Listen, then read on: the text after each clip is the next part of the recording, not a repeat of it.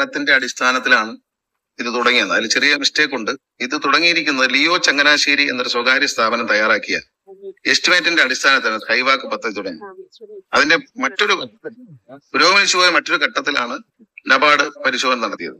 ഇതിനായി ലിയോ ചങ്ങനാശ്ശേരി എന്ന സ്ഥാപനത്തിന് മുപ്പത്തി ആറായിരം രൂപ രണ്ടായിരത്തി പതിനഞ്ചിൽ കൈമാറി. ഈ പദ്ധതി നടപ്പിലാക്കാൻ വേണ്ടി ഉദ്ദേശിച്ചിരുന്നത് റോഡ് സേഫ്റ്റി അതോറിറ്റി ശരിക്കും പറഞ്ഞാൽ ഈ പദ്ധതിയും റോഡ് സേഫ്റ്റി അതോറിറ്റിയും തമ്മിൽ യാതൊരു ബന്ധവും റിക്കറിംഗ് എക്സ്പെൻഡിച്ചറോ താങ്ങാൻ റോഡ് സേഫ്റ്റി അതോറിറ്റി നിയമം അനുവദിക്കുന്നില്ല. വൺ ടൈം ആയിട്ട് ചില കാര്യങ്ങൾ സെറ്റിൽ ചെയ്യാനും റോഡിലെ അപകടങ്ങൾ ഒഴിവാക്കാൻ വേണ്ടിയുള്ള പദ്ധതിക്കാണ് റോഡ് സേഫ്റ്റി അതോറിറ്റി പ്രവർത്തിക്കുന്നത് ആ മാനദണ്ഡത്തിൽ നിന്ന് വ്യതിചലിച്ചുകൊണ്ടാണ് അടിസ്ഥാനപരമായി ഈ പദ്ധതി വന്നിരിക്കുന്നത്. ഈ പദ്ധതിയിൽ സ്കൈവാക്ക് ഒരു ഓവർ ബ്രിഡ്ജ് എന്നാണ് ഇപ്പണം അതിനകത്ത് വ്യാപാര സ്ഥാപനങ്ങളൊക്കെ വിഭാവനം ചെയ്തിട്ടുണ്ട്. പിന്നീട് ഇത് റോഡ്സ് ആൻഡ് ബ്രിഡ്ജസ് കോർപ്പറേഷനെ ഏൽപ്പിക്കാം എന്ന് മോട്ടോർ വെഹിക്കിൾ ഡിപ്പാർട്ട്മെന്റ് അറിയിച്ചു. ഈ പണം നൽകുന്ന ഡിപ്പാർട്ട്മെന്റ് എന്നതിലെ അറിയിച്ചു. അറിയിക്കാനുള്ള കാരണം എന്ന് പറയുന്നത് അന്നത്തെ ഗവൺമെന്റ് ഓർഡർ അനുസരിച്ച് സിഡ്കോയ്ക്ക് കൊടുക്കാൻ കഴിയില്ലായിരുന്നു. ഓവർ ബ്രിഡ്ജുകൾ റോഡുകൾ ബ്രിഡ്ജുകൾ. ഇവ നിർമ്മിക്കാനുള്ള അധികാരം നൽകിയിരുന്നത് റോഡ്സ് ആൻഡ് ബ്രിഡ്ജസ് കോർപ്പറേഷൻ. ഈ കിറ്റ്കോയ്ക്ക് കൊടുക്കാൻ പറ്റുന്ന പി ഡബ്ല്യുടെ ജനറൽ വർക്ക്സ് എന്ന് പറയുന്ന വിഭാഗത്തിലാണ്. അത് ലംഘിച്ചുകൊണ്ടാണ് ഇത് അന്നത്തെ മന്ത്രിയുടെ ഉത്തരവ് പ്രകാരം ഇത് കിറ്റ്കോയ്ക്ക് കൈമാറി. കിറ്റ്കോയ്ക്ക് അതിനുശേഷം പണി ആരംഭിച്ചു. അദ്ദേഹം പറഞ്ഞത് ശരിയാണ്. അതിൽ പോകുന്ന എല്ലാവരും ആലോചിക്കുക എന്താണ്? ഞാൻ ഈ ചുമതല ഏറ്റെടുക്കുന്നവരെ ഞാനും ധരിച്ചിരുന്നത്. എറണാകുളത്ത് ഫിനാലേക്ക് വന്ന ഏതോ ഒരു കലാകാരൻ സ്ഥലത്തെ എം എൽ എയോടുള്ള ബന്ധം കൊണ്ട് ഉണ്ടാക്കി തന്നൊരു ശില്പമാണെന്നാണ് ഞാൻ കരുതിയത്. പക്ഷേ ഇതാണ് എനിക്ക് മനസ്സിലായത്. ഈ ചുമതല ഏറ്റപ്പെടാൻ ഇതൊരു കൈവാക്കാണ് എന്ന് പറയുന്നത്. ഇക്കാര്യത്തിൽ എല്ലാവരും മുഖ്യമന്ത്രി കണ്ടു എന്നൊക്കെ ചോദിച്ചു. എല്ലാവരും കാണുമ്പോൾ ധരിക്കുന്നത് ഇത് അങ്ങനെയാണ് ധരിക്കുന്നത് സാധാരണക്കാര്. പക്ഷെ ഇത് പൊളിച്ചു മാറ്റണമെന്ന് ആവശ്യപ്പെട്ടുകൊണ്ട് ഒരാൾ ഹൈക്കോടതിയെ സമീപിക്കുകയും അദ്ദേഹത്തിന്റെ അപേക്ഷ പ്രകാരം ഹൈക്കോടതി നോട്ടീസ് തന്നു. അപ്പൊ ഹൈക്കോടതി നോട്ടീസ് തന്നപ്പോൾ നമ്മൾ ഇതിന് സ്ഥലം അക്യൂരാണ്. അപ്പൊ ആദ്യം പറഞ്ഞിരുന്നത് അന്നത്തെ ജില്ലാ കളക്ടർ പറഞ്ഞിരുന്നത് ഇതിന് സ്വകാര്യ സ്ഥലമോ മറ്റു സ്ഥലങ്ങളോ അക്യൂർ ചെയ്യേണ്ടതില്ല. അതിന്റെ ആവശ്യം വരികയില്ല എന്ന് അദ്ദേഹം നിർദ്ദേശിച്ചു. അത് കഴിഞ്ഞിട്ട് ഇപ്പോൾ കോടതി നിർദ്ദേശപ്രകാരം കളക്ടർക്ക് ഞങ്ങൾ ഒരു കത്ത് വിട്ടു. ആ കത്തിൽ പറയുന്നത് അവിടെ വൈ എം സിയുടെ സ്ഥലമുണ്ട്. പിന്നെ കോർപ്പറേഷന്റെ സ്ഥലം മാത്രമാണ് മുനിസിപ്പാലിറ്റിയുടെ സ്ഥലം മാത്രമാണ് അവർ നൽകിയിട്ടുള്ളത്. ബാക്കി സ്ഥലങ്ങളെല്ലാം അക്യൂരമാണെങ്കിൽ കോടിക്കണക്കിന് രൂപ വേണം. സ്വകാര്യ വ്യക്തികൾ ഒരു ചർച്ചിന്റെ ഉണ്ട്. ഇവരെല്ലാം ഫ്രീ ആയിട്ട് തരുന്നതാണ് അന്നത്തെ കാലത്ത് പറഞ്ഞിരുന്നത് പക്ഷെ ഇപ്പോ സി എസ് ഐയുടെ ഉണ്ട് സി എസ് ഐ ചർച്ച് ഉണ്ട് ഭൂവുടമകൾ തപാൽ വകുപ്പ് കേന്ദ്ര ഗവൺമെന്റാണ് ഭൂമി വിട്ടു നൽകാൻ പിന്നീട് വിസമ്മതിച്ചു. ആദ്യം അവർ സമ്മതിച്ചു എന്ന് പറയുന്നു വാക്കാൽ. പക്ഷെ പിന്നീട് അവർ വിസമ്മതിച്ചു. ആകെ ഭൂമി നൽകിയത് അന്ന് ജില്ലാ കളക്ടറാണ് അറിയിച്ചിരിക്കുന്നത്. ഇനി അവർ ഭൂമി തരാൻ സാധ്യതയില്ല.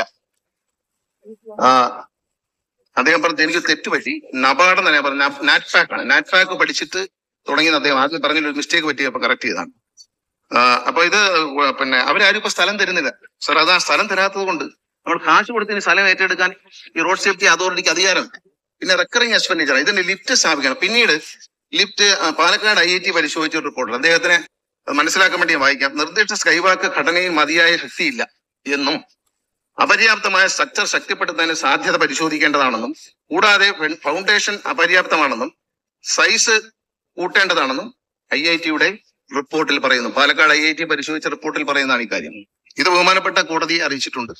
അതോടൊപ്പം തന്നെ സ്കൈബാക്കിന്റെ ഡി പി ആറിൽ അഞ്ച് റോഡുകളുമായി അഞ്ച് സ്റ്റെയർ കേസുകൾ തീരുമാനിച്ചിരുന്നു.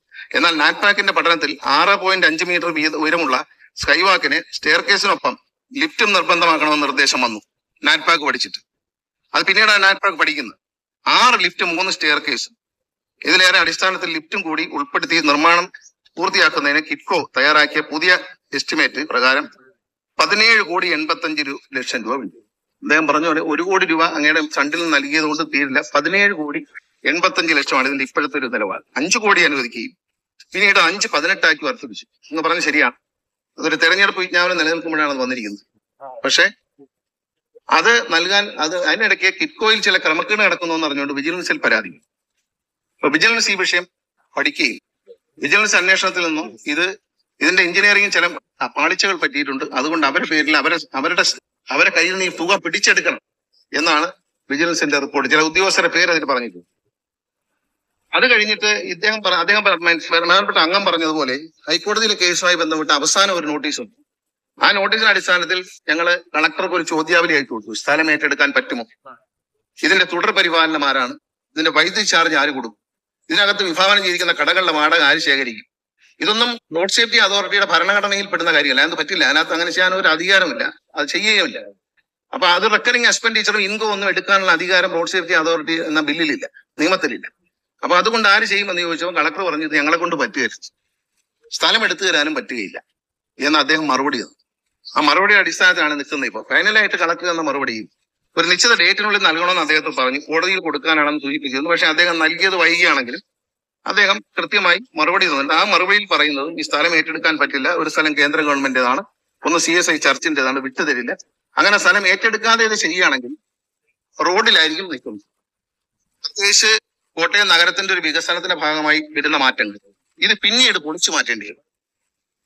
പതിനേഴ് കോടി ചിലവാക്കി നിർമ്മിക്കാമെന്ന് വിചാരിച്ചാൽ തന്നെ ആ നിർമ്മിച്ചു കഴിയുന്ന സാധനം അതിന്റെ സ്ട്രക്ചർ മൊത്തത്തിൽ ഫിനിഷ് ചെയ്താൽ ഇത് പൊളിച്ചു കളയേണ്ടി വരും. കാരണം കിറ്റോയുടെ പ്രവർത്തനത്തിൽ അപാകതയുണ്ടെന്ന് കണ്ടുപിടിച്ചത് അങ്ങ് പറഞ്ഞ പോലെ പോസിറ്റീവായിട്ട് മറുപടി പറയണമെന്ന് ആഗ്രഹമുണ്ടെങ്കിലും പതിനേഴ് അഞ്ചു കോടിക്ക് പുറത്ത് ഇനി ഒരു പത്ത് പന്ത്രണ്ട് കോടി രൂപ കൂടി എടുത്ത് ചെലവാക്കുന്നത് സാധ്യമായ കാര്യമല്ല എന്നാണ് പറയാനുള്ളത്.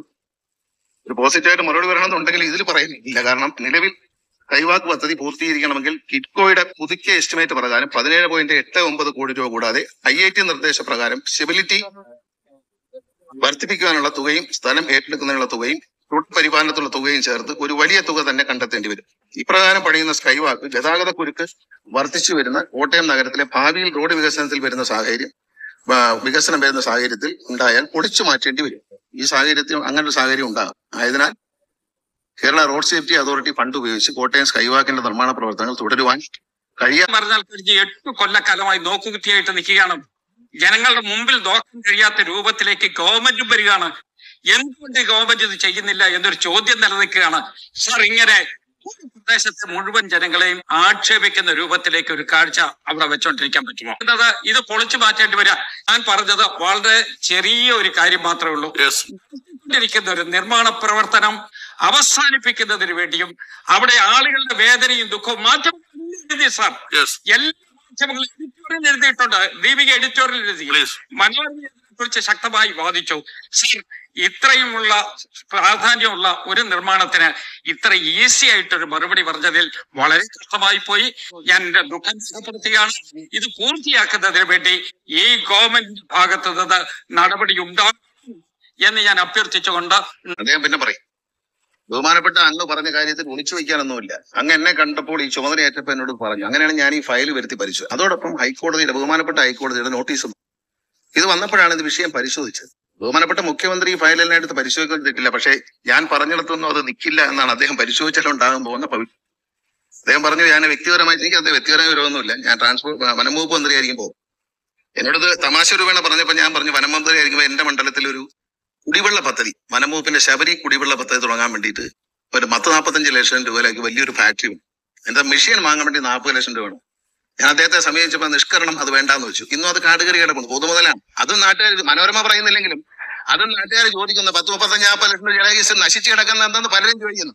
അപ്പൊ അങ്ങയുടെ ഇത് എനിക്ക് അങ്ങയുടെ എന്ന് പറയുന്നത് ബഹുമാനപ്പെട്ട കോടതി മുമ്പാകെ സർക്കാർ അറിയിച്ചതും ഇത്തരത്തിലൊരു ക്രമക്കേട്. ചെയ്യാൻ പാടില്ലാത്ത ഒരു വകുപ്പ് ആവശ്യമ തനിക്ക് ആവശ്യമില്ലാത്ത പണി ചെയ്യുകയും പണി ചെയ്യിക്കുകയും പിന്നീട് അങ്ങ് പറഞ്ഞ ചെറിയ ഒരു കാര്യം. ഈ കാര്യം എന്താണെന്ന് ഇപ്പൊ ജനങ്ങൾക്ക് മനസ്സിലാവുന്ന എന്റെ മറുപടിയിൽ നിന്ന് ജനങ്ങൾക്ക് മനസ്സിലായിട്ടുണ്ട്. എന്താണ് ഇതിന്റെ പുറം ഇപ്പൊ കേരളം എന്താ കോട്ടയത്ത് ഇങ്ങനെ നിൽക്കുന്നതെന്ന് മനോരമയ്ക്ക് സംശയം ഉണ്ടെങ്കിലും ദീപയ്ക്ക് സംശയം ഉണ്ടെങ്കിലും ഈ മറുപടി എന്ന് മനസ്സിലായി. ഈ മറുപടി റെക്കാർഡിക്കലാണ്. ഈ മറുപടി പറഞ്ഞ ഒരു കാര്യം അസത്യമല്ല. സത്യം മാത്രമേ വെളിപ്പെടുത്തിയിട്ടുള്ളൂ. ഈ ഫയൽ അങ്ങേക്കും പരിശോധിക്കാം. വളരെ വലിയ ഫയലാണ്. ഇത്ര വലിയ കെട്ടുള്ള മൂന്ന് ഫയലുണ്ട്. പല കുറെ കാലമായിട്ട് നടക്കുന്ന വ്യവഹാരങ്ങളാണ്. കണ്ടെത്തിയിരിക്കുന്ന വിജിലൻസ് കണ്ടായിരിക്കുന്ന ഗുരുതരമായ പ്രശ്നങ്ങളാണ്. ഇലക്ഷൻ കമ്മീഷന്റെ നിരോധനം നിലനിൽക്കുമ്പോൾ ആ സമയത്താണ് ഇത് അഞ്ചു കോടി എന്നുള്ള അഞ്ച് പതിനെട്ടായി കൊടുത്തു. അത് തന്നെ തെറ്റായ നടപടിയാണ്. തെരഞ്ഞെടുപ്പ് കഴിഞ്ഞ് ആ കോഡ് ഓഫ് കോൺടാക്ട് നിലനിൽക്കുമ്പോഴാണ് ചെയ്തിരിക്കുന്നത്. സാർ അങ്ങേയറ്റം സാങ്കേതികമായ പിഴവുകളും ഉള്ള ഒരു കാര്യമാണ്. ബഹുമാനപ്പെട്ട മുഖ്യമന്ത്രി പരിശോധിക്കണം എന്ന് അങ്ങ് ആഗ്രഹം ഉണ്ടെങ്കിൽ ഏത് നിമിഷവും ഇന്ന് തന്നെ മുഖ്യമന്ത്രി പറയുകയാണെങ്കിൽ അദ്ദേഹത്തിന്റെ ഓഫീസിൽ അത് എത്തിക്കും. അദ്ദേഹം ഒന്ന് പരിശോധിച്ചാൽ ഇതിന്റെ കൂടുതൽ അപകടം ഞാൻ പറഞ്ഞതിന്റെ സത്യം മനസ്സിലാകും. ഒന്നേകാൽ കോടിക്കൊന്നും തീരില്ല. പതിനേഴ് കോടി എൺപത്തി ആറ് ലക്ഷം രൂപ ചെലവഴിക്കാം. പിന്നെ സ്ട്രെങ്തൻ ചെയ്യണം. സ്ഥലം അക്യൂർ അങ്ങ് പറഞ്ഞു സ്ഥലം അക്യൂർ ചെയ്യണമെങ്കിൽ വിദ്യാർത്ഥി മിത്രം.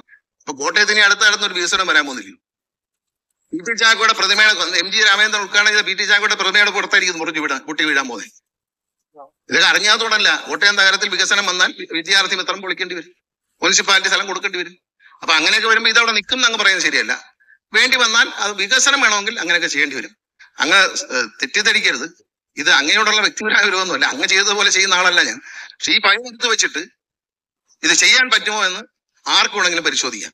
ഏതായാലും പൊതുമുതൽ സർക്കാരിന്റെ പൊതുമുതൽ ഇത്തരം അനാവശ്യ കാര്യങ്ങൾക്ക് ദുർവയം ചെയ്യുന്നത് നമ്മൾ പ്രോത്സാഹിപ്പിക്കാൻ പാടില്ല. എന്നാണ് എന്റെ വ്യക്തിപരമായ അഭിപ്രായം.